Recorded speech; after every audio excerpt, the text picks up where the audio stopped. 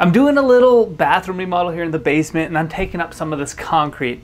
I've had this DeWalt hammer drill for a couple years now. Here's the quick features. I'm gonna show you what I've been doing with it.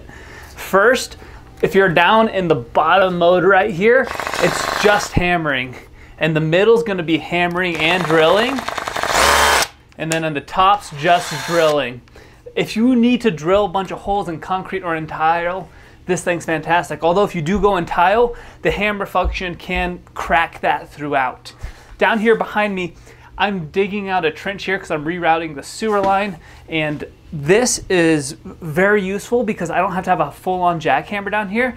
I'm using this half-inch drill bit to drill a bunch of holes and then there's kind of a chisel bit here and I'll use this chisel bit to chisel all of it out really nice to be able to do it with just this smaller hand tool. Now this chisel bit's fantastic for a lot of demo and construction. So taking up tile is phenomenal with the combination of this kind of chisel paddle bit with the hammer drill. Fantastic. On the top, like any drill, you've got reverse and forward. The handle here is really solid.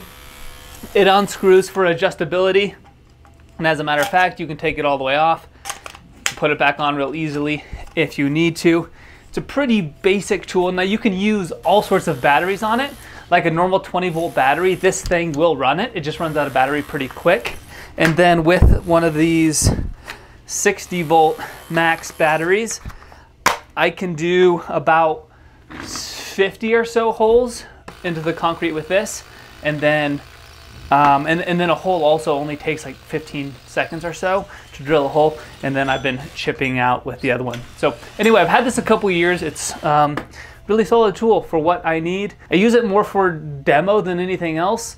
But if you do need to drill a lot of holes through concrete, cinder block, brick, it works great. Although it's not necessary, it is much quicker and much easier to use than a lot of those other things. So all in all, if you need a good hammer drill, this one is solid at least for me so far, and I've, I've demoed a lot with it, and it keeps running for me.